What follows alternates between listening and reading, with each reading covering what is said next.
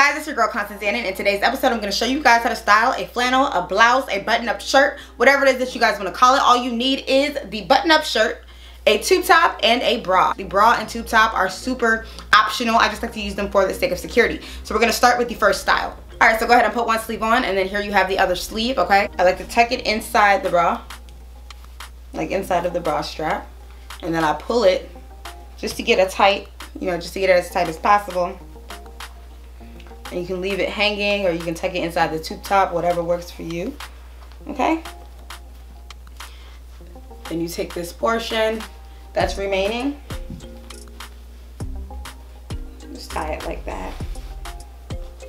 And so I like to tuck this piece under the bra into the tube top. And same thing with that. You can actually wear it like this if you like it, like this. We can go ahead and take this other remaining strap, tuck it underneath. Okay. Now this was a strapless bra, be perfect. It's not, so I just go ahead and take the strap off and I tuck it into the tube top as well. This is your first style, okay? Super cute. I'm actually gonna insert a picture of me wearing this because I thought it was to die for. Okay. Go ahead and put both sleeves in. Go ahead start with it off the shoulder.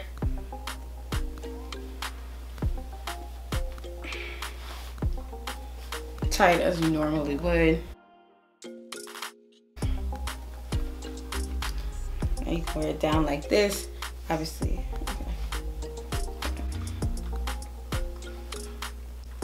like this. You can wear both down. You don't need the tube top, but I do not like everything all out in the open. So, go ahead and take the shirt and wrap it around so that you have the sleeves here, okay? And just button the first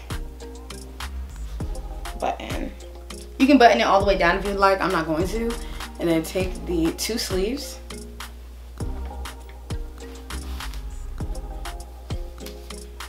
Okay, and now you have, you can actually, depending on how long your shirt is, you can wear it as a dress.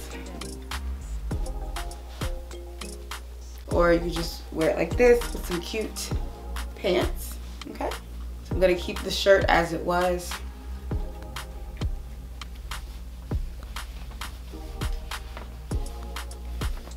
Cross the two sleeves. And I like to twist them just to give it a more realistic look. You know, I don't want no chunky um, straps around my neck.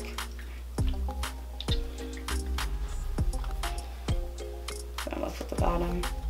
And just as I've been doing, I go ahead and tuck it into this.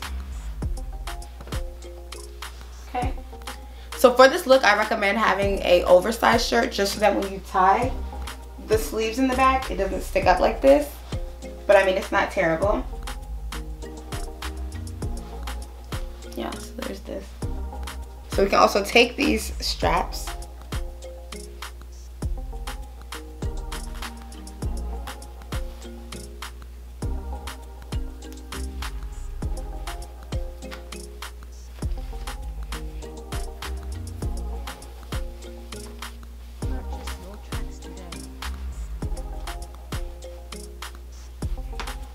you can tuck them in now you have. All right now there's actually one more style that i want to show you guys. It's not going to work unless you have a shirt that is split in the back like this one. So i mean if you don't have it then i mean you can try it still but anyways. So go ahead and button it up. I, I button the first two across my chest. I'm going to turn this shirt around. I'm going to take these sleeves and put them back here and then while they're back there, you can also go ahead and just tuck them in. You can tuck them behind your bra strap to secure them. Take these and come around this way. I'm gonna tie it in the back.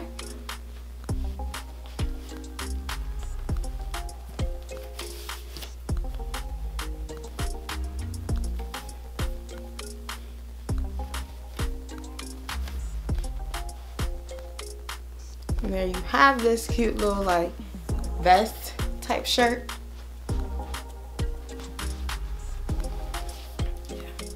So I went to the mirror to go and fix it a little bit. I did pull the bra or the bralette down a little bit so you can see some cleavage, but this is the look. I kind of just came up with it on spot, but it's like a vest style t-shirt, halter top, whatever you want to call it. It's real cute. Probably should have twisted these a little bit to make them a lot like thinner, but it, it looks good. So that concludes the um, many ways you can tie one shirt. Make sure you guys are following me on Instagram at Black Mocha. That's B-L-A-C-K-M-0-C-H-A. I am currently doing a 30-day fashion challenge. So if you guys are interested in that, make sure, again, you guys are following me on Instagram at Black Mocha, B-L-A-C-K-M-0-C-H-A. Um, I do have clothes for sale on my Depop closet, so make sure you guys check that out as well. Again, it is Black Mocha, B-L-A-C-K-M-0-C-H-A. And uh, I think that is all I have for you guys today. Peace.